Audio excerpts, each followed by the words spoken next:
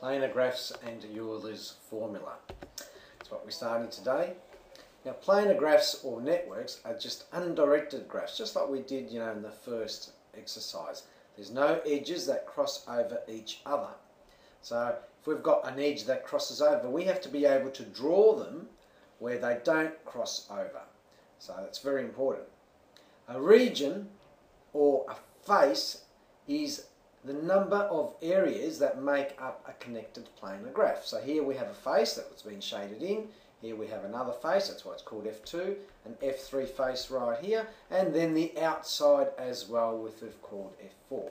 So this one has four faces.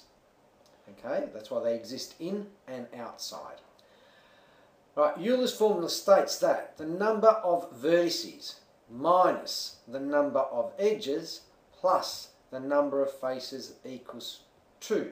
Now this is true for all connected planar graphs. So if uh, they ask us, is it a connected planar graph, we can use Euler's formula to work out whether it is or not. Alright, here's an example.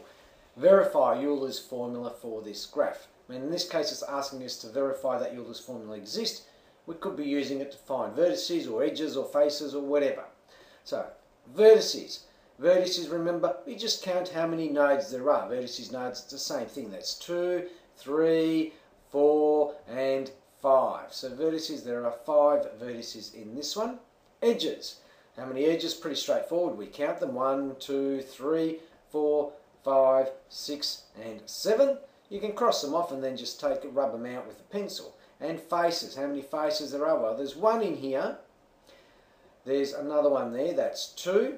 There's one right in here that links it and there's one on the outside. So there are four faces altogether. So we've already got the rule up, V minus C plus F. We start with the left hand side.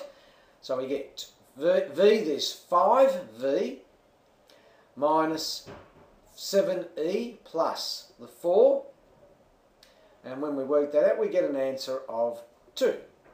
And then we say which equals right hand side of Euler's rule. That's how we verify something. We don't write both sides down.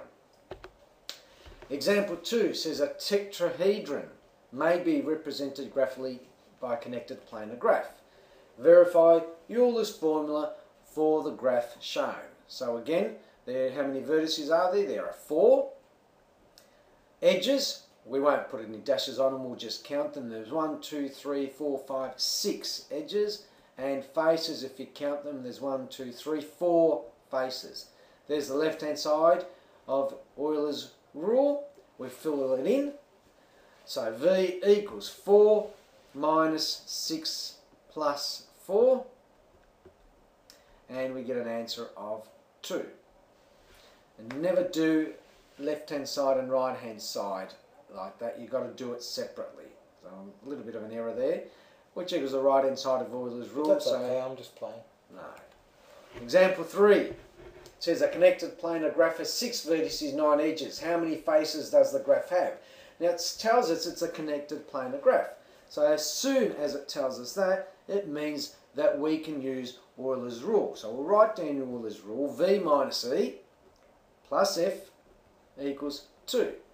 It tells us how many vertices there are. It says 6 minus tells us how many edges there are, 9, plus we uh, asks us for, asks us for the faces, so we'll leave it as f equals 2, and we just use algebra to work out f. So 6 minus 9 is negative 3, plus f equals 2, and then we get f equals 5. Okay, so how many faces does this graph have? This graph will have 5 faces. And there's your questions.